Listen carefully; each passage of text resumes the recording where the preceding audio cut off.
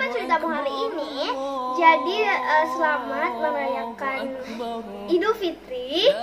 Eh, terus eh, apakah puasa kalian itu lancar? A- aku sih full lancar. Nah, jadi yang paling aku deg-degan tuh guys waktu puasa itu waktu nggak sahur karena itu udah em, apa sih kayak pengen minum karena itu tuh kayak waktu sore itu makanan udah disediakan di meja ya kan? Jadi udah kayak ngiler aja gitu. Jadi harus uh, apa ya?